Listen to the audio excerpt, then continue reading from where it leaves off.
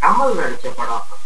Tick tick tick direction கூட பார்த்து ராஜா நினைக்கிறேன் அதுல ஒரு வில்லன் வருவாப்ல அவர் பஞ்ச் டைலாக் வந்து என்னடான்னா எல்லா தர்மங்களும் தெரியும் எல்லா நியாயங்களும் தெரியும். அதான். இந்த தர்மம் அப்படிங்கிறது வந்து என்னடான்னா நம்ம ஆளுங்க வந்து இந்து தர்மம் இஸ்லாமிய தர்மம் இப்படி போயிட்டு இருப்பாங்க தர்மம் அப்படின்னா வந்து என்னடான்னா இயல்பு. நேச்சர் அவ்வளவுதான். ஜல தர்மம் அப்படின்னா வந்து தண்ணீரின் இயல்பு. அது பள்ளத்தை நோக்கி போகும். அக்னி தர்மம் அப்படின்னா என்னடான்னா நீங்க வந்து ஒரு தீவத்தையை கொளுத்தி தலைகழா பிடிச்சாலும் அந்த ஜுவாலை வந்து மேல் நோக்கி தான் போகும். ஆக இப்ப சில பேர் வந்து மானுட தர்மம் அப்படின்னு சொல்லுவாங்க. மானுடன் அப்படின்னு நாம தான் சொல்லிக்கிறோம் உயிரியல் விதிகளின்படி நம்மளும் வந்து ஒரு வகையான விலங்கு. ஏதோ அந்த குரங்கெல்லாம் சொல்கிறாங்க பாருங்க. அந்த மாதிரி அந்த கேட்டகரியில நாம வந்து கொஞ்சம் சிந்திக்க ஆரம்பிச்சுட்டு இருந்தங்க அவ்வளவுதான். அதனால மானுட தர்மத்தை பின்பற்றுங்கள் அப்படின்னு கூட சொல்ல முடியாது. ஏன்னா மானுடன் அப்படின்னா அது விலங்கு தானே. மதத்தில் வந்து என்னன்னா நான் சொல்ல நினைக்கிறது ஒரு உயிர். வந்து தாவரங்களுக்கும் உயிர் இருக்குன்னு ஜெகதீஷ் சந்திரபோஸா அவர் சொல்லி வச்சிருக்காரு. உயிரின் இயல்பு அப்படின்னா வந்து என்னன்னா மொத கடமை உயிர் வாழ்வது அதுக்கு அடுத்தது வந்து பெருகி வளர்வது. அதுக்கு அடுத்தது பரவுவது. இந்த மூணு மேட்டரை வந்து மனிதர்கள் இது வந்து மற்ற ஐந்தறிவு படைத்த எல்லா உயிர்களும் அதனுடைய உள்ளுணர்வின் உதவியோடையே இதையெல்லாம் வந்து நடத்தி முடிச்சிருக்கு மனுஷங்க தான் வந்து தற்கொலை பண்ணிக்கிறது. தன்னுடைய உயிருக்கு தானே உக வச்சுக்கிறது. இப்படி எல்லாம் போகுது. அதே போல் வளர்வது வளர்வதுன்னா வந்து நாம வந்து பார்க்குறோம். இப்போ எங்க காலத்துல நான் அஞ்சாம் கிளாஸ் வரும்போது கூட படித்தவன்லாம் வந்து மாமா மாமாவாக இருப்பான். சைஸ் அப்படி. இப்போ வந்து என்னன்னா அது குறைஞ்சிடும் உடல் பருமன் அதிகரிச்சிருக்காரு வேற கதை. அதுக்கு காரணம் வந்து இந்த ஜங்க் ஃபுட்டு சிக் ஃபுட்டு எத்தனையோ சொல்றாங்க போத உயிர் வாழ்வது அது முக்கியம். அடுத்தது வந்து இனப்பெருக்கம் இனப்பெருக்கம் இந்த ஆராய்ச்சி எல்லாம் வந்து நடந்திருக்கு. கடந்துருச்சுன்னு நினைக்கிறேன். அதாவது வந்து அதெல்லாம் வந்து கணக்கில் வச்சுதான் வந்து இந்த திருமண வயது அப்படின்னு ஒண்ணு பிக்ஸ் பண்ணியிருக்காங்க. வந்து எத்தனை பேர் எத்தனை ஆண் பெண்களுக்கு அந்த வயசுல கல்யாணம் ஆகுது தெரியாது. அதுக்கப்புறம் வந்து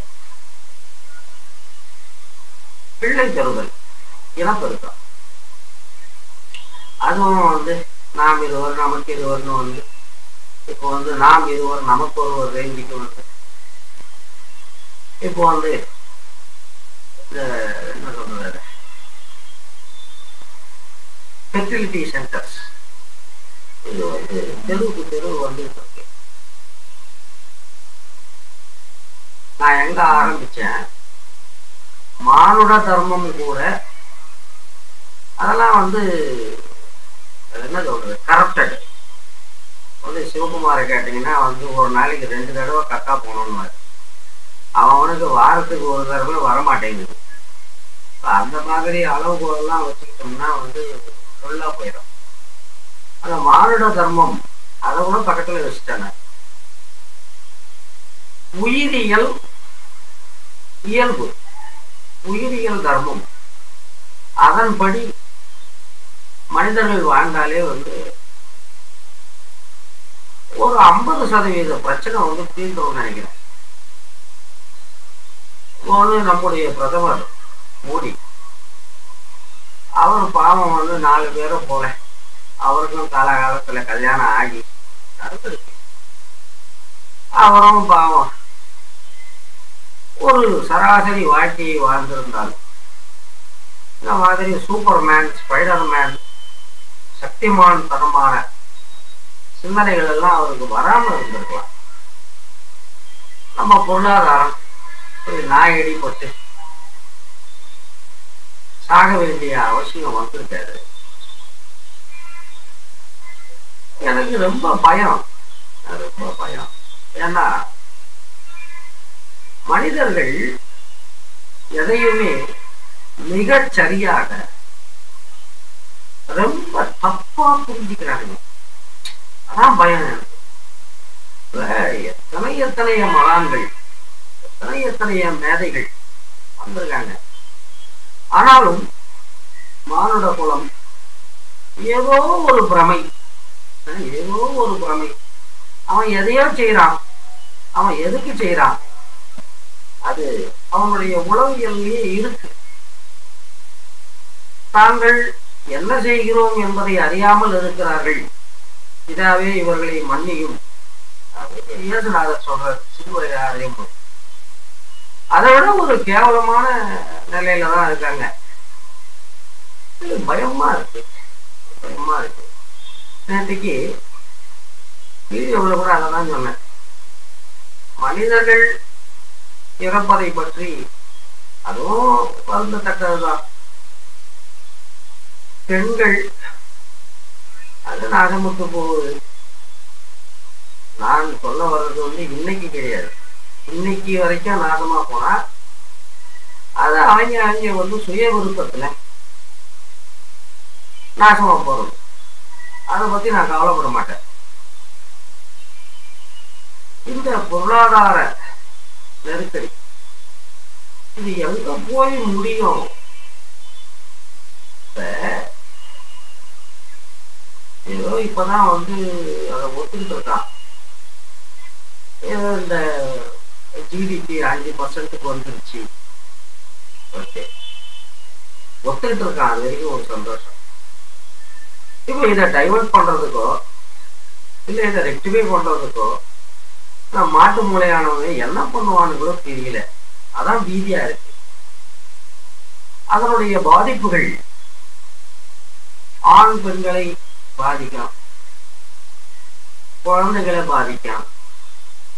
வந்து குழந்தைகளை பாதிக்க ஆரம்பிச்சிட்டா. என்ன ஆகும்னா வந்து அடுத்த தலைமுறையும் பாதிக்கப்படும். அதான் வந்து சிக்கல் இங்க அந்த குழந்தைகளில் அட ஒன்பது நூத்தி தொண்ணூத்தி ஒன்பது குழந்தை டம்மி பீஸா கூட இருக்கான். எச் ராஜா எஸ்பி சேகர் மாதிரி கூட இருந்துட்டு போகட்டும். அந்த ஆயிரத்துல ஒரு குழந்தை. கொஞ்சம் பெட்டரா இருந்தா அடுத்த ஜென்ரேஷன்ல கிளிக் ஆயிரும். இவனுங்க வந்து அந்த குழந்தைகளுக்கும் ஆப்பு வச்சிருவானுங்க போல. வந்து நீங்க உத்தரப்பிரதேசத்துல பார்த்துருப்பீங்க. அந்த ஆக்சிஜன் பற்றாக்குறை காரணமாக பசி அதிர்ச்சி இப்போ யுத்தம் இல்லை. இயற்கை பேரழிவுகள் அப்படி ஒன்றும் இல்லை. இந்த கொள்ளை நோய் பரவுவது இந்த மாதிரி மேட்டரும் ஒன்றும் இல்லை. ஒரு மாமூல் வாட்டி அப்படின்னு தான் சொல்லலாம் இதை வந்து எவ்வளவு சிக்கலாக்கிக்கிறானுங்க பாருங்க. இந்த என்ன சொல்றது? ஐக்கிய நாடுகள் சபை பிக் ஃபைவ் எல்லா பக்கியும் இருக்கானுங்க. நான் என்ன சொல்றேன்? எல்லா தர்மங்களையும் விட்டுருவோம். எல்லா தர்மங்களையும் உயிரியல் தர்மம். உயிர் வாழ்தல் தற்காத்துக் கொள்ளுதல் இனப்பெருக்கம் பரவுதல். நாலு மேட்டரை கான்சென்ட்ரேட் பண்ணி மற்ற இந்த வெட்டி வேலைங்க. சந்திராயான் அதாவது எஃப் சிக்ஸ்டீன் ரபேல் இது வந்து என்ன ஆகும்னா மானுட குலம் ஒட்டு மொத்தமா பினிஷ் ஆகிடும் மற்ற மிருகங்களுக்கும் நமக்கும் இருக்கக்கூடிய ஒரு வித்தியாசமே என்னடான்னா நம்முடைய அறிவு அப்படிங்கிறது வந்து ஆப்ரேட்டிங் சிஸ்டம் ஆல்ரெடி மைண்ட்ல ஸ்டோர் ஆயிருக்கும். நாம வந்து அப்டேட் பண்ணிக்கிட்டா போறோம் இந்த மிருகங்களுக்கு வந்து என்னடான்னா அந்த அப்டேட்ன்றது ரொம்ப ரொம்ப கஷ்டம். இந்த நம்ம திருநாய்ங்க இந்த பிளாஸ்டிக் கவர்ல வந்து குழம்பெல்லாம் வரும். ஏழு எட்டு குழம்பு கொடுமா. காசுக்கு ஏத்தாப்புல. அதை வந்து அந்த குப்பையில் இருக்கும்போது அந்த நாய் அதை வந்து கட்ட முடியுமா? அதை நூலை பிரிக்க முடியுமா? புரியாது. அது கடிக்க ஒரு பீஸ் உள்ள போனாலும் காலி ஆனால் நாம வந்து படக்குன்னு அந்த கயிறு அவுத்துரும். ஆனா நமக்கும் மிருகங்களுக்கும் இருக்கிற வித்தியாசம். அந்த அப்டேஷனே வந்து போயிருமா? ஏன்னா ஜீரோவுக்கு வந்தாச்சுன்னு சுத்தம். என்னமோ நடக்க போகுது. அது ஒரு மாதிரி ஒரு புதுசாதான் தெரியுது. புதுசாதான் தெரியுது. ஒரு டிவி ஜோதிடர் நூல்ல படிச்சேன். அந்த பர்த் நம்பர் காம்பவுண்ட் நம்பரை வந்து அந்த எண்களால் நம்ம வயதை வந்து வகுக்கலாம். வகுக்கும் போது இத்தனையாவது ரவுண்டுன்னு கணக்கு இருக்கு. வந்து நமக்கு வந்து பதினஞ்சாம் தேதி குடும்பம் வந்தது. ஆறு. ஆறு பன்னெண்டு எழுபத்தி ரெண்டு ஒரு ரவுண்டு முடிஞ்சு போச்சு. ஆறுன்னா சுற்றணி. பனிரெண்டு என்றால் பனிரெண்டு பாவங்கள். ஒன்னாம் பாவம் ரெண்டாம் பாவம் கணக்கு இது வந்து மறுபடியும் முதலுக்கு வரமா? அது ஒரு சந்தேகம்.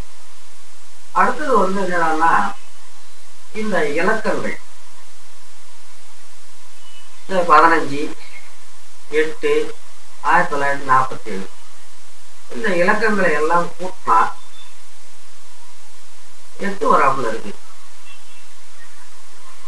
இது இருபத்தி ரெண்டாவது வருஷம். எட்டு ஒன்பது எழுபத்தி ரெண்டு ஒன்பதுனா வந்து சொத்து சேமிப்பு முதலீடு இதெல்லாம்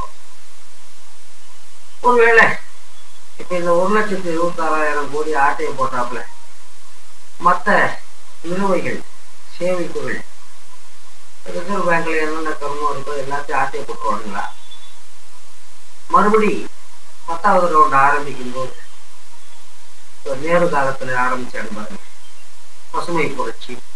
அந்த மாதிரி முதல்ல இருந்து ஆரம்பிக்கணுமா? ஒன்றும் புரியல. பார்ப்போம். நன்றி வணக்கம்.